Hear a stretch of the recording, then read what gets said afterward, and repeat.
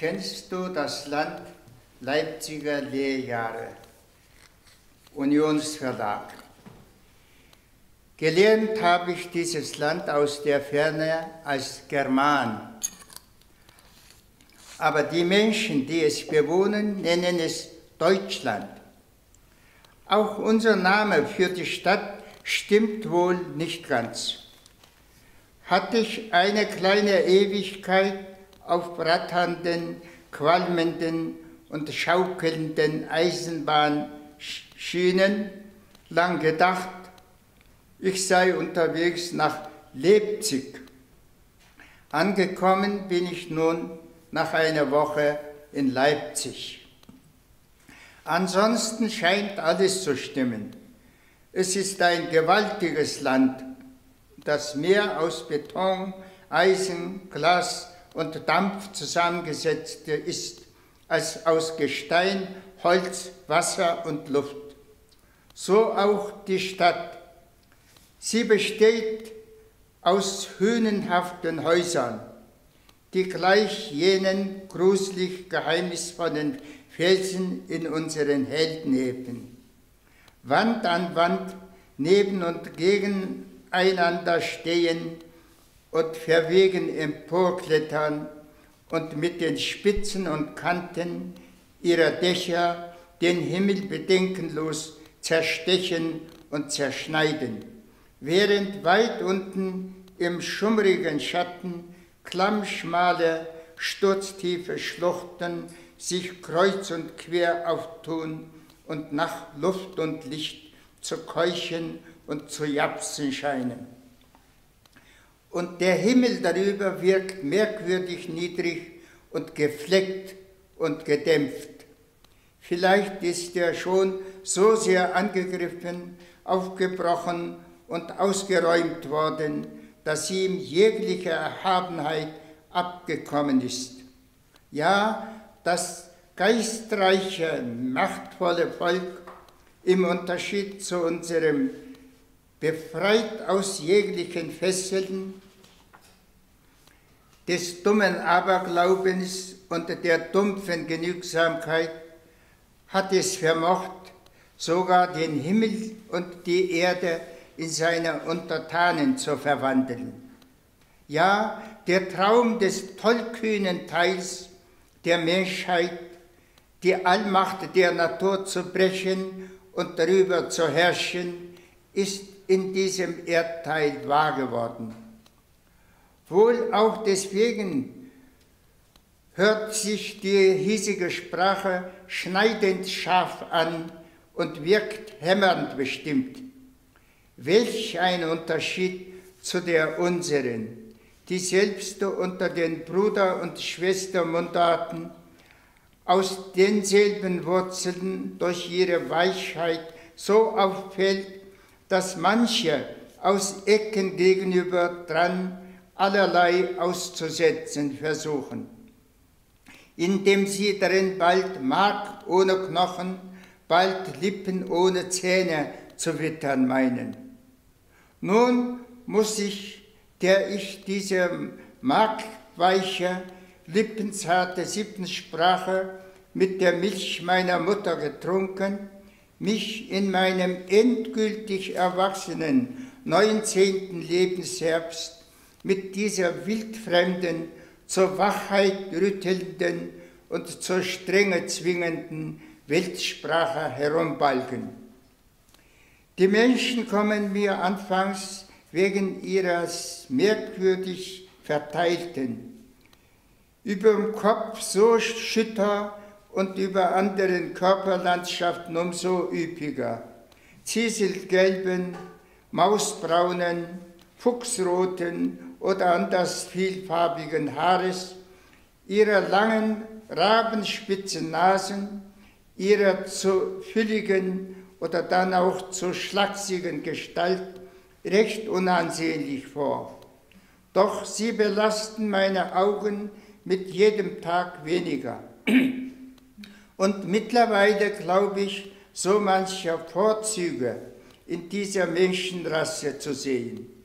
Freilich noch ohne zu ahnen, dass dies zu einem Teil bei Fremden aufgeschnappte, billige Phrasen sind, die ich selbst recht bald durchschauen werde. Die deutsche Pünktlichkeit, Genauigkeit, Sauberkeit. Hinzu kommt etwas, das mir selbst ins Auge springt und im Hirn pocht. Im Unterschied im Körperbau zwischen mir und den Einheimischen. Der Schöpfer muss sie einen nach dem anderen in die Länge gezogen haben, ehe, sie, er, ehe er sie entließ, während er mich aus seiner hohlen Hand nicht herausgelassen und immer wieder drauf geklopft hat, wohl einen Tatenknollen gleich im Sinne. Und das Ergebnis, sie sind lang und schmal und ich bin kurz und knubbelig geraten. Ich bin noch mehr weit entfernt von der Bibel, dem Garten Eden und dem gifthaltigen Phänomen Erkenntnis, das schon damals Adam und Eva aus dem Paradies vertreiben konnte. Doch diese kleine Erkenntnis wirkt auf mich. Ich beginne mich mit den anderen zu vergleichen und finde jene im Vorteil und mich im Nachteil. Denn an mir entdecke ich so vieles auszusetzen. Und das macht mich unglücklich. Ja, am liebsten würde ich sofort in eine solche rötlich helle Haut schlüpfen. Nun ereilen mich weitere Auskünfte, die ich natürlich für Wissen halte und daher stolz bin, dass ich, dass auch ich sie weiß, wer Sachse ist und wer Preuße und wie und was sie alle seien. Auch dieses Klischee nimmt mein Hirn auf. Wäre nicht gerade Mutter Leipzig es gewesen, die sich meiner angenommen und mich mit Nahrung und Wissen säugt, und wäre der Nummer eins Mensch des Staates, zu dem nun auch ich gehöre, der Genosse Walter Ulbricht nicht hier geboren worden, dann wäre ich liebend gern als Preuße wiedergeboren worden. Denn die meisten Tugenden, die man den Preußen zuspricht, gelten auch bei uns Sippennomaden als erstrebenswert. Nun aber gebe ich mich damit zufrieden, Sachse zu werden, ohne aber sächsisch zu reden, denn der, die Lehrer, die auf Hochdeutsch pochen, gestatten uns so etwas nicht.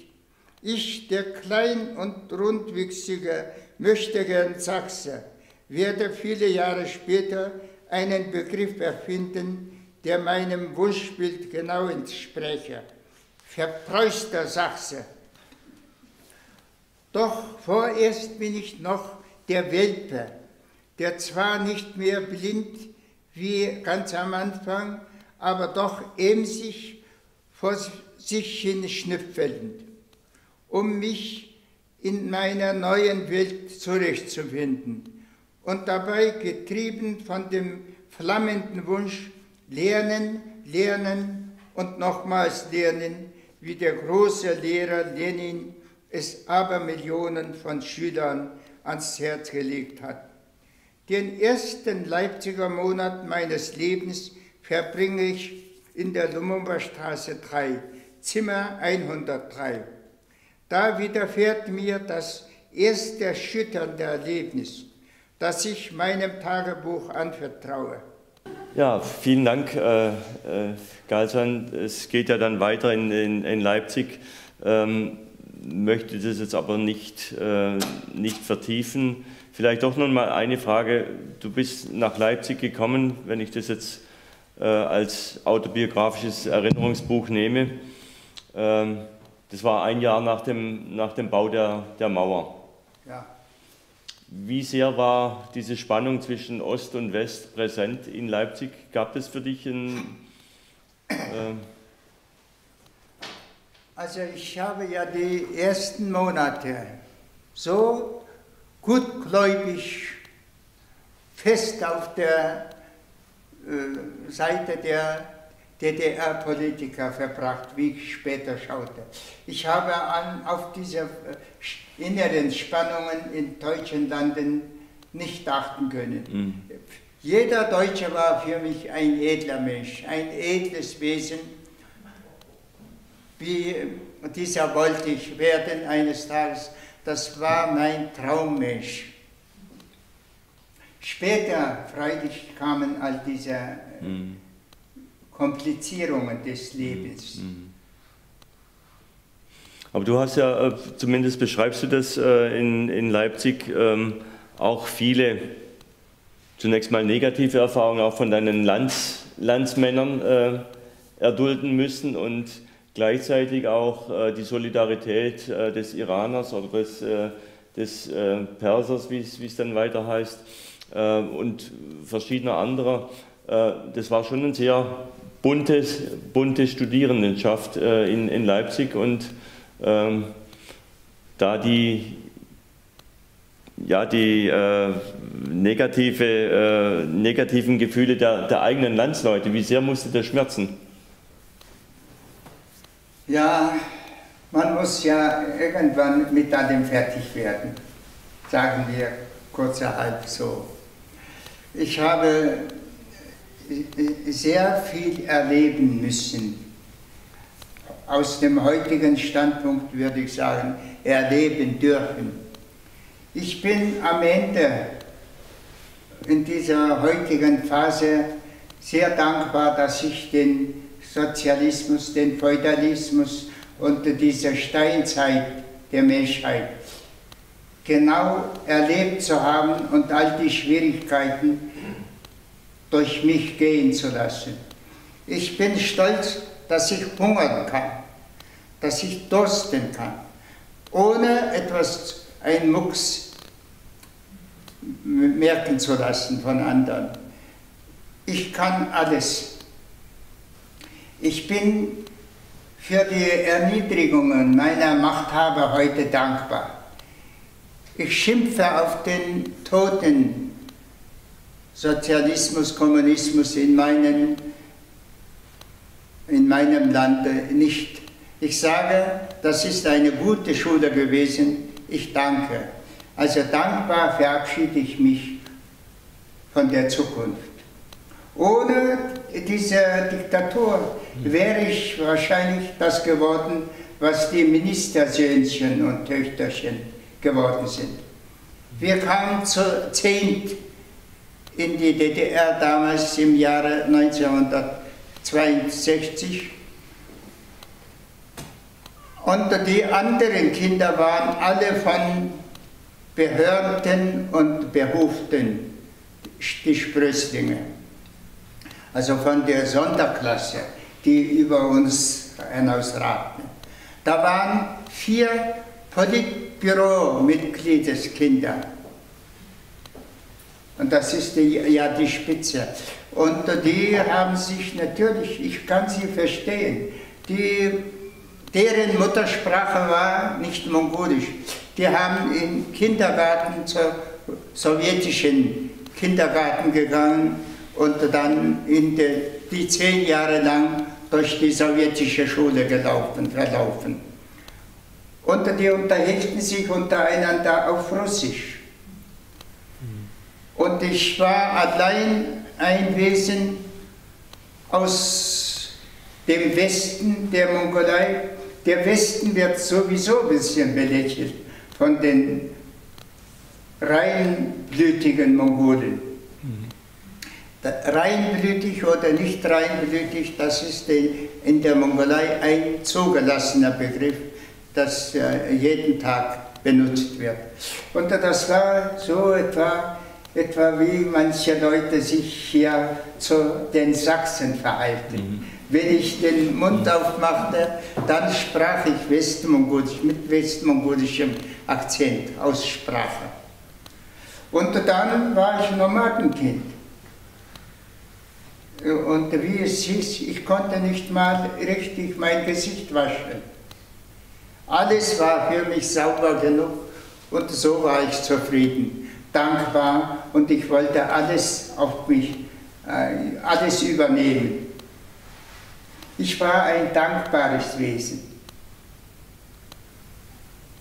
Ich schaute ja nicht auf die Schattenseiten der anderen, aber ich schaute nur auf die lichten Seiten der Menschen und des, der Stadt, des Lebens in der DDR.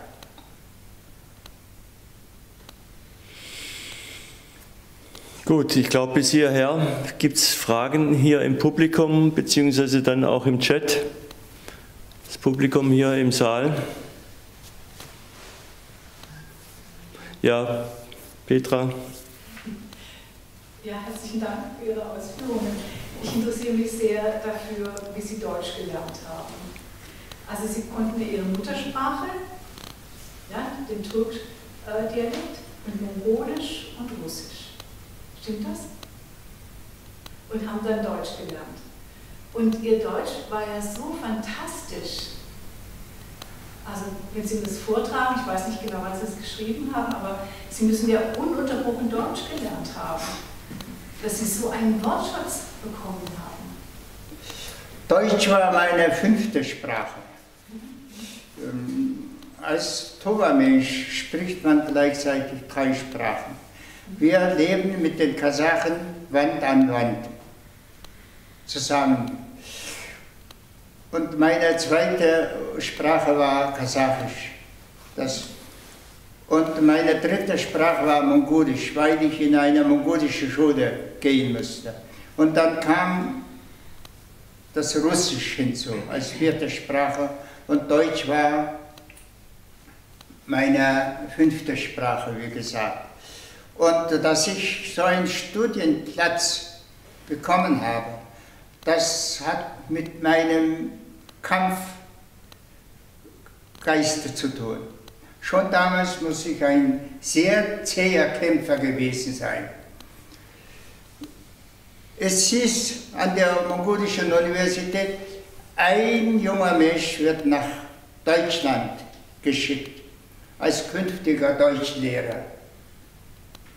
Und dann habe ich äh, zu kämpfen gegen einen Generalssohn. Der, dieser Generalssohn war ein ausgewachsener, hochgewachsener, blonder Bursche. Sohn eines, einer russischen Mutter. Also der General hatte eine russische Frau. Und der hat natürlich zu Hause Russisch gesprochen. Und dann fünf Jahre lang haben die russischen Klassen entweder Deutsch oder Englisch oder Französisch lernen dürfen. Er hatte fünf Jahre Deutsch gemacht. Und dann sollten wir einen Aufsatz schreiben. Wie sehe, mit dem Titel, wie sehe ich meine Zukunft? Und für den Generalssohn war alles kristallklar. Er würde bald in die Partei eintreten und seine Universität, sein Studium beenden und glücklich für die Sache des Kommunismus kämpfend leben. Das Leben war Licht leuchtend für ihn. Ich wusste nicht, wie mein Leben sein wird und ich, der Dichter erwacht in mir wohl. Ich habe angefangen zu träumen. Ich will aus mir etwas Neues machen und ich muss werden. Ich bin heute roh und weiß nichts. Ich möchte alles lernen, so etwa.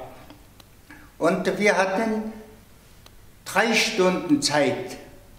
Eine Kommission, gab es fünfköpfige Kommission und der junge Russe oder Mongole, Generalssohn, hat nach einer Viertelstunde abgegeben seine, und rausgeschritten mit Schlips und in sozialistisch grauer Anzug und mit seinen schönen blonden Haaren ging ich. Ich aber klebte am Tisch schrieb, schrieb, schrieb. Und wir hatten vier, fünf äh, Papiere bekommen, Seitenpapiere, zum weißer Papiere. Und ich schrieb, und die Kommissionsmitglieder haben angefangen, mich zur Eile zu bringen. Nach einer Stunde. Du hast viel genug geschrieben, gut, das geht nicht. Aber ich habe so die Hand, die von mir haben wollte, weggeschoben und einhändig. Und da habe ich mich drüber gelegt und weitergeklebt. Und so. Und bis zum Schluss der drei Stunden gekämpft, hatte ich ganze vier Seiten vorne und hinten voll beschrieben. Und dann haben die Prüfungs, die Mitglieder der Prüfungskommission wohl gelesen bei dem Russen null Fehler. Klarer Inhalt, er wird ein glücklicher Kommunist, ein Jungkommunist im Kommunismus glücklich leben. Aber bei mir, ich dachte, das Leben wird kompliziert sein, nichts bleibt so, wie es ist, so nach der schamanischen Philosophie und ich muss selber werden. Dann kann ich da, da mitreden. So, bei mir waren hunderte Fehler, grammatische Fehler, Schreibfehler, aber sehr, eben sehr viel geschrieben. Und drei von den fünf haben gleich dem, also den Sieg gegeben und der Prüfungskommissionschef und ein anderer haben gezweifelt und Kommissionschef sagte, nein, dem Jungen fehlt die Sprache einzig. Aber wir sehen ja, er hat angefangen, die Sprache bereits zu lernen und er ist ein Kämpfer. Er wird gut lernen und ich würde ihm den Sieg geben. Und dann ging das nicht und dann hat er einen, eine schlaue Idee. Wir zählen, wie viele Vokabeln da vorkommen, russische. Der äh, Russe hatte so 20, 30 oder 40, 50 Vokabeln. Und ich hatte etliche Hunderte benutzt. Und dann hat er mir den Sieg gegeben. Als ich am nächsten Tage äh, zurückkam, um meine Noten zu hören, hat der Sachbearbeit, die Sachbearbeiterin des, der Kaderabteilung mich umarmt und hat geheult. Sie war selber aus dem Land und hatte mit diesen jungen sympathisiert, der ich war. Und so hatte ich das Glück, nach Leipzig zu kommen.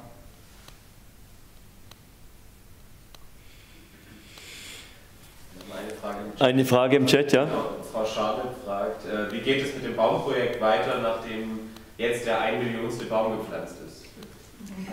Ja, wir wie, arbeiten hast du das verstanden, ja? Wir arbeiten längst an der zweiten Million.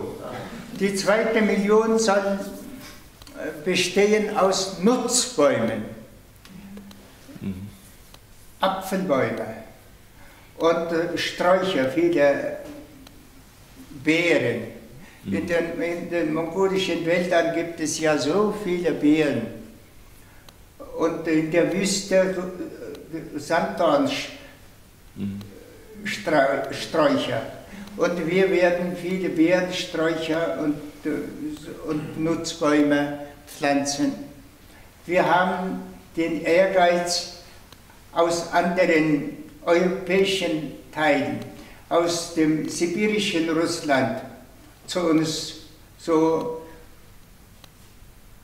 Nutzbäume hereinzubringen und wir haben damit bereits unsere äh, gute Erfahrung. Wir haben nicht nur einheimische Bäume gepflanzt, die erste Million besteht, auch mit zwei fremdländischen Bäumen. Das ist der Ahorn und der Flieder. Und ich hätte gern gesehen, dass auch Trauerweiden in die Mongolei kämen und äh, Eichen. Ich habe im ersten Sommer 55 Jungeichen und 44 Trauerweiden äh, aufgezogen. Aber im nächsten Frühjahr habe ich gesehen, alle waren mhm. tot, mhm. haben den mongolischen Winter nicht äh, überstanden. Bis jetzt stehen vor meinem Haus so Spitzpappeln, fünf Stück. Die sterben jeden, äh, jeden Winter ab, oben, mhm. das wächst nicht nach. Und dann kommt das immer wieder von unten. Und ich schneide diese trockenen ähm, Teil ab und lasse sie weiter wachsen. In der Hoffnung, vielleicht gewöhnen sie sich an die Kälte langsam. Und eines Tages stehen sie, vielleicht gehen sie vielleicht auf. Gibt es weitere Fragen im Chat nicht? Ja, hier ist noch eine Frage, ja. Ich wollte nur, nur zu Ihrem ähm, Buch noch etwas sagen. Ich habe es gelesen, noch nicht so lange. Und Herr Tinak, ich war so stolz auf Sie. Sie glauben gar nicht, welcher Stolz mich erfasst hat, dass Sie als Schüler da in diesem Deutschen, bei diesem Deutschland so einen Erfolg hatten. Das wollte ich nur sagen. Dankeschön. Also ich durfte ja, ich wurde ja nach ersten drei Monaten, habe ich meine, meine Erstauszeichnung bekommen in Leipzig. Der Dummkopf, der nicht mal F aussprechen konnte, er erwies sich als, nach drei Monaten als best, der allerbeste Studenten des ganzen Sprachinstituts. So wurde ich ausgezeichnet mit zwei Wochen Winterferien in Erzgebirge, in der alten, schönen deutschen Stadt Annaberg. Durfte ich zwei Wochen äh, mich erholen. Und dann wurde ich immer berühmter, immer berühmter. Und an der Universität war ich ein Musterstudent, wie äh, Studenten in alten Zeiten gewesen sind. Und das endete damit, dass ich eine Aussprache halten sollte, allein im Namen aller Abgänger der Universität im Jahre 1968. Und ich habe eine Viertelstunde lang geredet. Das war ein Auftrag vom Rektor der Universität. Und ich habe die ganze Nacht an meiner Rede gedichtet und habe ich den deutschen Geistern das ganze Blau vom Himmel herunter äh, versprochen. Also Goethes Faust würde sofort ins Mongolische übersetzt. Beethovens Neunte würde aus jeder mongolischen Jote klingen. Und Dürers Osterhäschen würde den mongolischen Kindern als Gespiele dienen. So sehr begeistert war ich. Und am Ende habe ich dann einen merkwürdigen Satz gesprochen. Wenn ich die deutsche Sprache um drei Ausdrücke reicher gemacht habe, dann dürft ihr wissen, dann darf ich selber mich für glücklich halten. Ich habe die Wohltat, die ich genossen habe, mit gutem, guter Tat zurück zu zahlen vermögen, vermocht. Und da gab es großen Applaus. Ach, die Leute haben gelacht und applaudiert. Und später, wenn ich daran dachte, wurde ich vor Scham, wurde es mir heiß über die Knie. Denn die Leute werden gedacht haben, die Professoren, Doktoren, all diese deutschen Studenten, naja, der Kleine, der hat sich eben, der fühlt sich sehr geehrt und der hat sich gefreut und dann kann man ja so einem Doofen alles abnehmen zunächst. Kostet ja nichts. Aber 33 Jahre später, auch das muss ich hinzufügen, das war im Festsaal des alten Rathauses am Markt in Leipzig. Und äh, 33 Jahre später saß ich im Festsaal eines anderen, eines Rat, des Rathauses einer anderen Großstadt Deutschlands. Ich saß in Köln. Die Kulturbürgermeisterin saß neben mir. Und ich wurde ausgezeichnet mit dem Heimieter von Doderer Preis.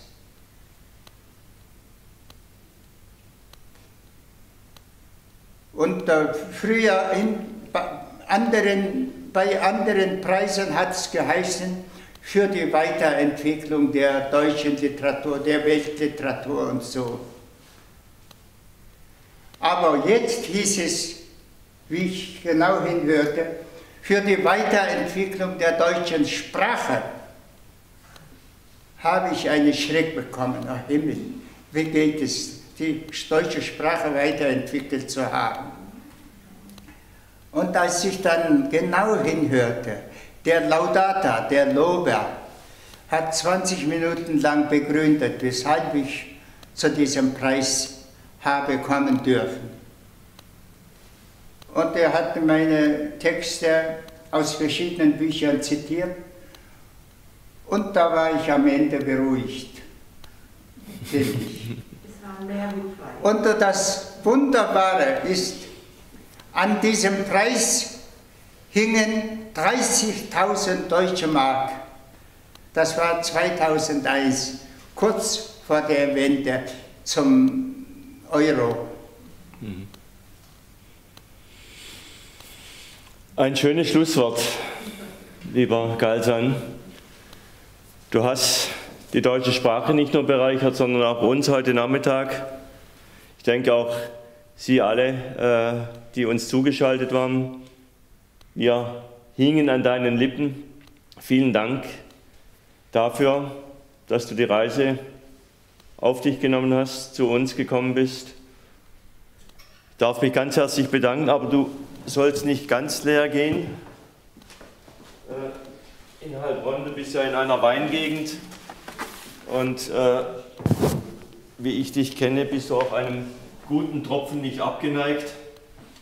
Genieße ihn. Es ist ein Ludwig Pfau-Wein von der Heilbronner Verwaltung gelesen. Ludwig Pfau war Ehrenbürger in Heilbronn vor 200 Jahren geboren. Wir haben das Jahr gefeiert. Ganz herzlichen Dank. Und es ist ein besonderes Etikett drauf. Stolz gegen die Großen, bescheiden gegen die Kleinen. Ich denke, das passt auch zu dir. Ganz herzlichen Dank.